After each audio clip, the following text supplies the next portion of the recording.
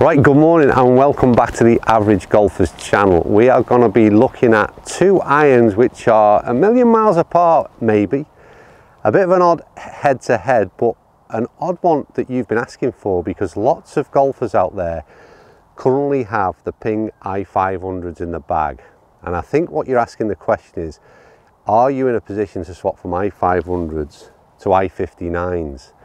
And I think there's possibly a bit of a leap, but we're going to test them out here on the golf course at Wallasey this morning. And I'm going to see if we can find out the differences in one, which is their kind of, it very much sits in the middle, but appeals to a broad range of players. That is the i500. Should have more forgiveness, bigger profile, should appeal to the masses. i59 aimed at that player's market. But can you switch from i500s into i59s? We'll let a few shots and find out.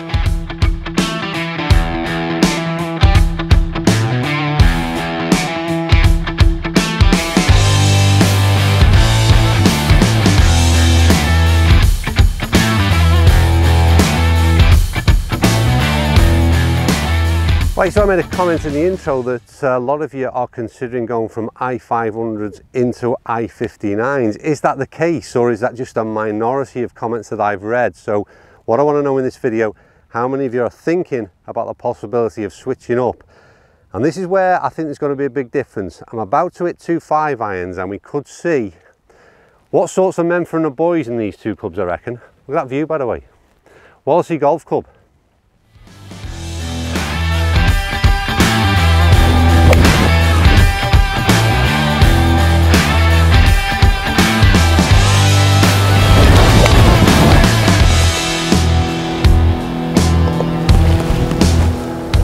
Now that was two five irons and this is where I think I just said there's a potential issue.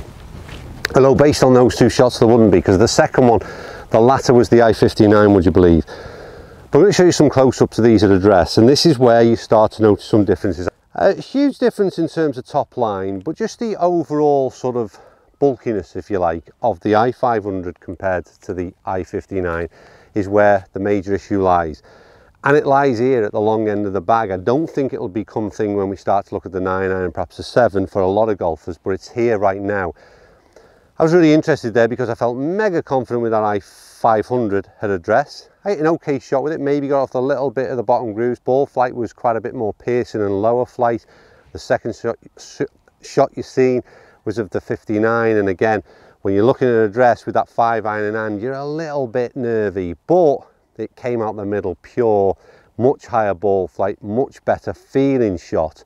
So first of all, before we go any further, I think it's the profile at the long end of the bag, which is a massive separator.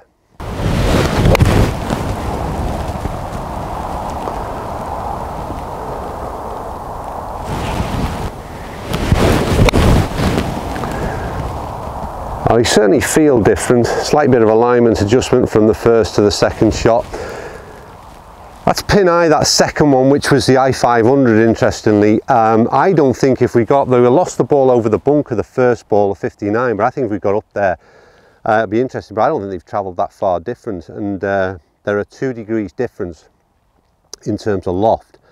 40 degrees is the strength of loft on the 9 and on the 500, 42. So you'd expect to see a bit of a difference and uh, that's going to be, that's going to resonate through the set. And the couple of shots I've hit so far, not hugely different in terms of A, the ball flight and B, where they finished in terms of landing dif difference, even though the two degrees difference in loft. But I think very much noticeably, and I did a, I don't know which way these are coming out, but I did a review uh, of the i59s comparing against another club the other day.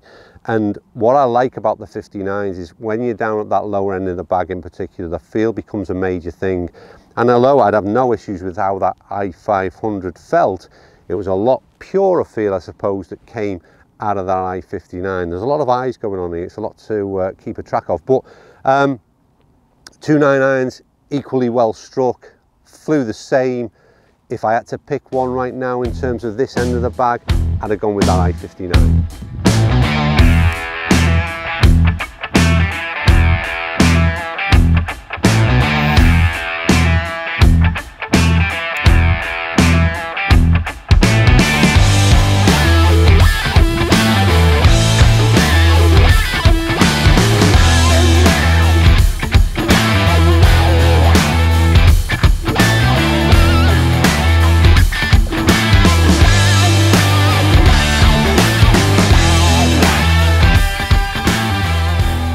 Right, so I've got the 5, 7 and 9 iron all laid out in front of me of both clubs and uh, pairing them up to see aesthetically just how much the difference is.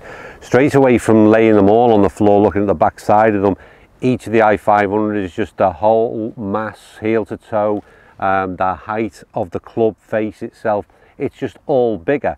Um, and then going to that top line, I'll start off, I said about that 5 iron, we've already had a brief look at it, but at the top line, it's quite significant difference again. But I think the other review that I mentioned earlier is I did the P770s uh, versus the i59s, and I think it's just in exactly the same way.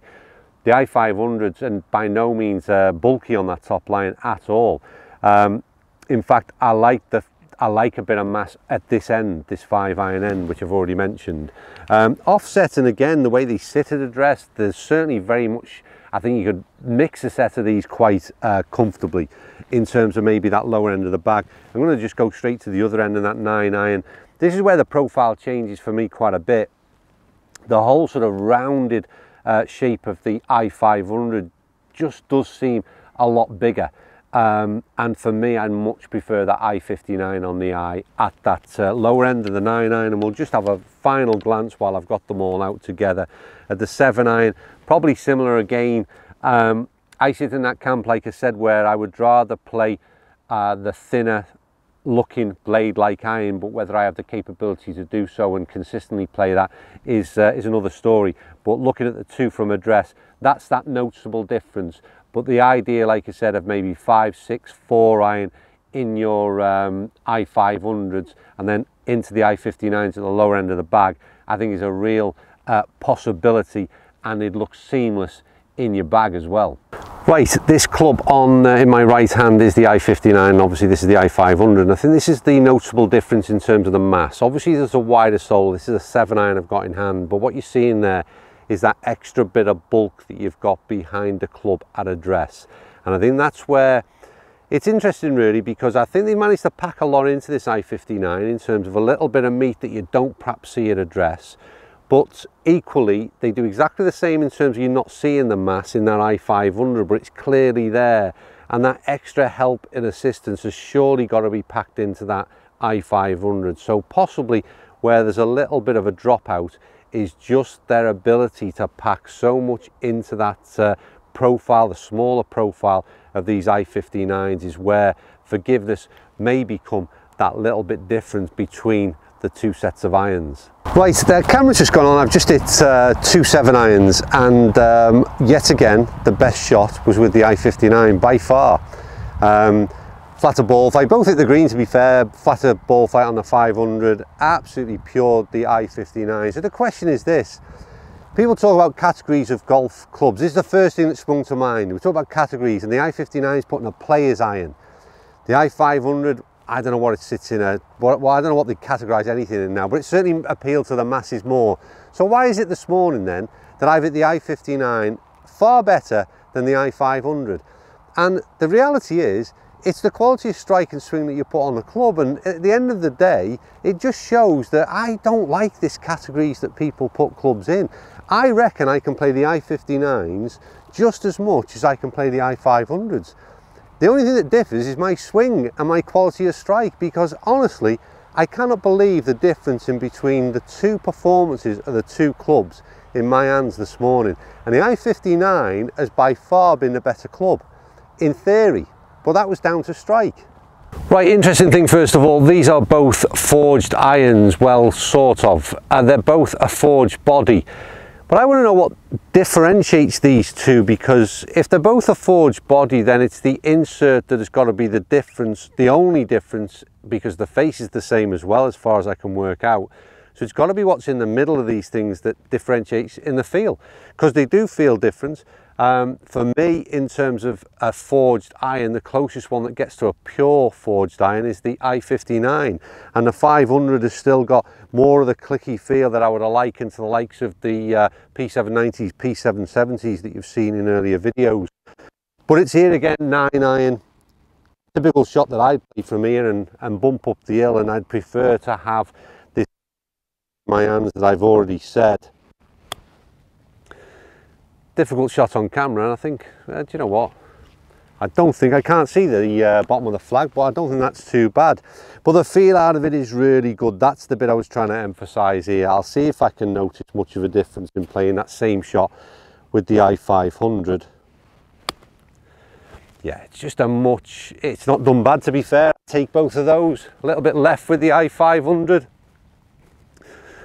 But the thing for me is the real noticeable difference between the feel. Like I said, both forged bodies, but a massive difference, two nine irons. And uh, if you're blind tested on those, you can, they're chalk and cheese in terms of, in my opinion, how much better the i59 feels than that of the i500.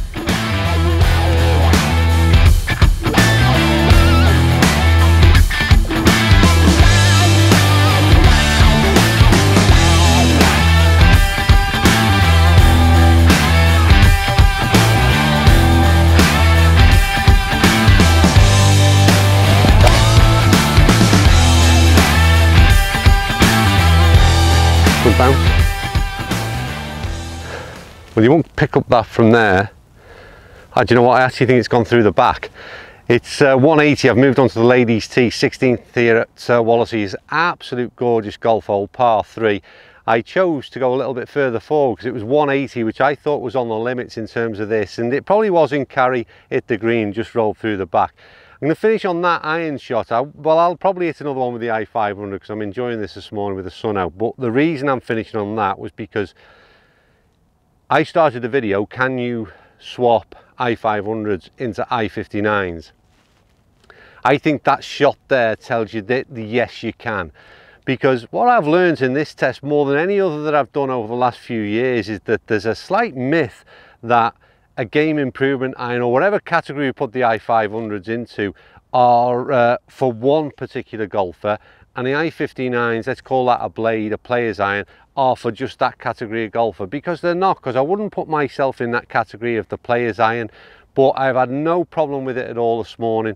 The biggest um, shock that i've had has been the forgiveness level whatever you want to term it. Sweet spots I've just been able to hit this iron as good as I've been able to hit the i500. So it's either a massive tick in the box in terms of what they've done technology wise in the i59. I don't know, maybe that could be the thing, but they've performed incredibly well. If I had the choice on a personal level, I would probably look to go up to a five iron in the i59s and maybe my i500s might sneak in there in a four iron or something, perhaps a five, I don't know. But I've had no issues with them whatsoever. I think they feel better, they sound better, they look a bit better in terms of if you want something sleeker.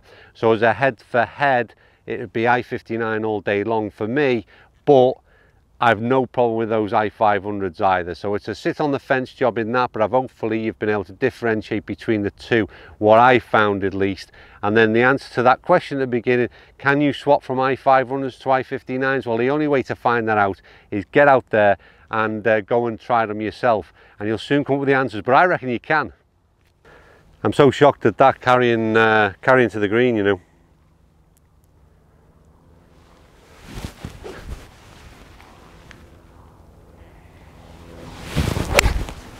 Oh, what a shot that is to finish. That's on the flag. Oh.